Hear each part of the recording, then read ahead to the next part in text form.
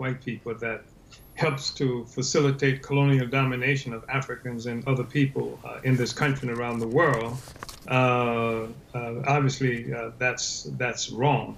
And I think that uh, Trump uh, is, is, correct when he says something to the effect that the anti-racism trainings, for whatever they're worth, exposes the United States government's history an ongoing tradition of uh, exploiting and oppressing uh, Africans and other people who are colonizing the United States. It's something that uh, that uh, this government would not want to recognize. And then, of course, it's something that's done within the context of uh, an election, presidential election, that's going to happen in two months in this country. and the fact that Donald Trump needs to show his reactionary white colonizer base that he is in charge, he's in control and that he will uh, not uh, give any credence to uh, any question, uh, any suggestion that uh, colonial white power uh, exists in this country and the world today as a consequence of what of the horrible things that the U.S. government does to Africans and other other colonized people in this country and, and worldwide. Thank you, Mr. Yeshitela. Now I'm going to swing over to Dr. Randy Short. Hello, Dr. Short. Always a pleasure to have you on Press TV, and I haven't spoken to you in a while. Hope you're doing well.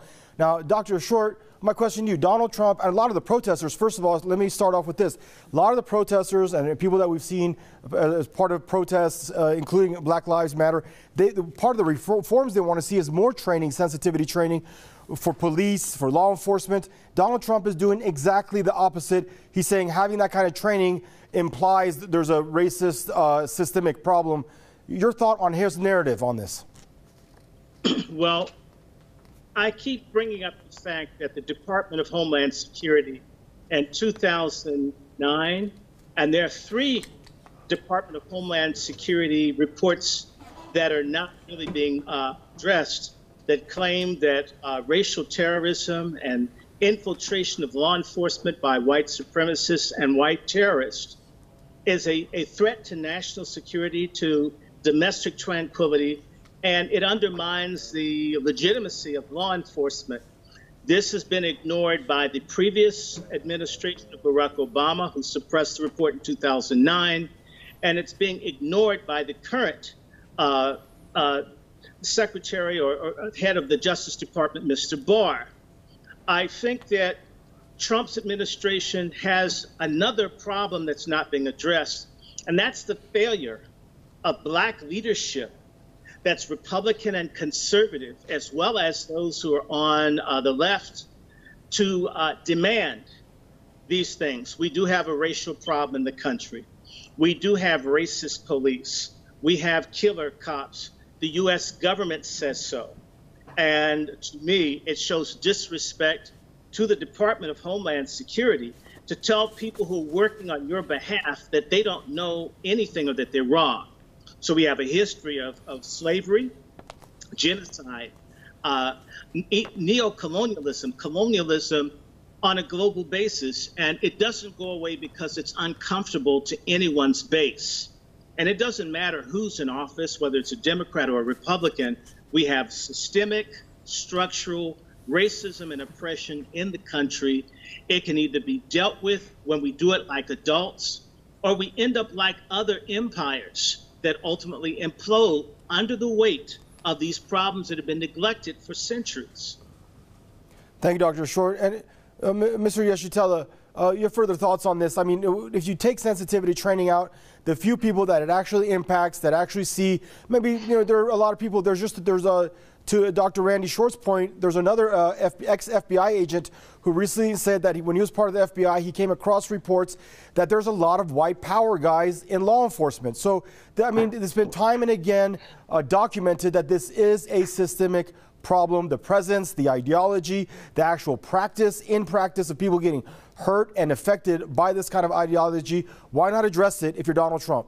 Why run from well, it? Well, the, the, the struggle I would have with uh, uh, my dear brother, uh, comrade Randy Short, is that the the uh, the Homeland Security and the uh, uh, this institution of, of the state uh, and this country themselves are terroristic. Uh, to say that they're terrorists to function inside a terrorist organization, I mean, the, the basis, the founding of these organizations uh, is terrorism, is to maintain the colonial domination of the world, and you can't do that by peace. You don't do that by singing uh, Bible verses, it's through terror. Uh, it is actual terror. It is a threat of terror uh, that Africans and colonized people in this country and around the world live with every day uh, as a consequence of U.S. threats. I mean, you talk about homeland security being disrespected. Uh, it's certainly not being disrespected by the indigenous people living in these concentration camps they call Indian reservations, or the Mexicans living in barrios and things like that, or Africans who every day of our existence. It's not you don't need extra uh, legal, you don't need uh, uh, things uh, like uh, white terrorist organizations functioning inside the police department. The police themselves were founded uh, as a part of an organized effort to keep African people enslaved, or to, from the Texas Rangers' effort to keep the Mexican people from being able to access their land and territory. So the, the government, the state apparatus itself is a terrorist institution. And if there are other terrorists inside these institutions, they are poor uh, pale imitations of what the government uh, and the state itself are. Thank you. Dr. Short, we've got a couple minutes left. Uh, your final thoughts, please. My final thoughts I, I never ever argue in defense of uh, the state and that racism, genocide, slavery, these have all been sanctioned by the state. Uh, I'm never an apologist for racism, structural oppression of black people, uh, or any people. Uh, I would say again, the FBI has come to my house to threaten me. I've been lied on by the FBI. So, and I was on the phone with uh, Alveda King, and we know that the FBI and others uh, had Martin Luther King and Malcolm X and many other people killed and assassinated through COINTELPRO, which still exists. So uh, let's be certain that there is a colonial relationship between uh, the government and the powers that be, and those people who've been conquered. I call myself an Aboriginal American. I am of African and, and American Indian descent, and uh, my folks are Seminoles, and I had folks. I mean, so we've been through. The Piscataway went through a genocide.